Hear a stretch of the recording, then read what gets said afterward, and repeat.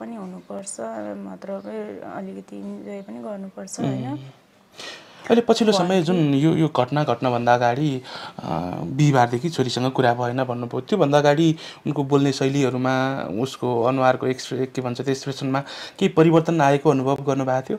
अथवा बोलीचालीमा केही डराएको त्यस्तो किसिमको अनुभव गर्नुभएको थियो? खासै त्यस्तो त थिएन। मलाई राम्रैसँग कुरा गर्थिन्। हजुर। कुरा राम्रैसँग गरिरहेको थिइन् अनि त्यस्तो डराएको यस्तो केही मलाई सेयर पनि गरिनन् केही भनिनन् पनि। अनि त्यस्तो केही पनि थिएन। जस्तो कि यो घटना घटिसकेपछि अमेरिकाबाट त्यहाँको प्रहरीले अनि अब एमबिसीहरूले तपाईँलाई सम्पर्क गर्ने अब छोरीको बारेमा केही जानकारी दिने अथवा छोरीको त्यो सब लिनको निम्ति उता आउने अथवा यता पठाउने त्यो विषयमा के कुरा भएको छ अहिले पछिल्लो समय?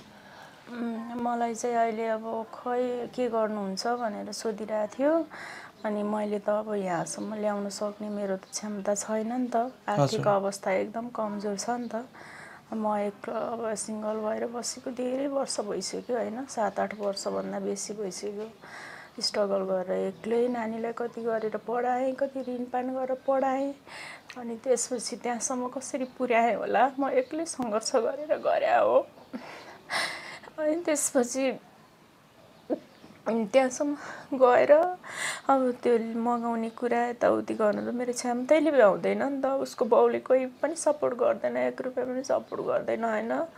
मेरो छोरीलाई त्यो कहिले उसले सँगै बस्दा पनि कति कुटेको छ पाँच रुपियाँको लागि कति कुटेको छ? एकपटक एक सय रुपियाँ दिएर दुध किन्न पठाएर रहेछ पौरोटी र दुध खान्छु भनेर ल्याइछ नानीले। त्यो बेला पनि जामका जाम कुटेर झनै मारेर म बाथरुममा नुहाउँदै गर्दा निस्केर बचाएको छु। मैले नाङ्गै भएर पनि टावल लिएर निस्केर मैले छोरी बचाएको छु। किन दुध ल्याइस्? पाउरोटी मात्रै खाँदा हुन्न थियो बाँच्दिन थिएस्। दुध किन ल्याइस् भनेर कुटेको कुटे मार्न लाइस् यत्रो बच्ची कति? अन्त नौ दस वर्षको बच्चीलाई कुटेर त्यसरी बचाउँथेँ। मैले एउटा अन्डा उसिन त्यो पनि किन सबै तिस तिन भाग लगाएर तिनजनालाई पुरा तिन भाग एउटा अन्डा भनेर कुट्थ्यो। मलाई पनि त्यत्तिकै खाएको न्युमा अनि त्यहाँबाट एक भाग त्यो छोरीलाई खान पाउँदैन भनेर कहिलेकाहीँ मासु ल्याएर पकायो भने त्यो यो यही कुर्सी उचालेर मलाई हान्न खोज्थ्यो। ए मासु खाने त म चाहिँ यो गोरुले जस्तो दुःख गर्ने सिपाहीमा मलाई कति पेल्छ। हाकिमहरूले सिपाहीले मैले? सिपाही उसमा हो आर्मीमा। अनि तँ चाहिँ भैँसीले जस्तो बसेर खाने म चाहिँ गोरुले जस्तो दुःख हान्न खोजेको म बोलेको भए हान्थ्यो। बोलिनँ थर कामेर बसेँ।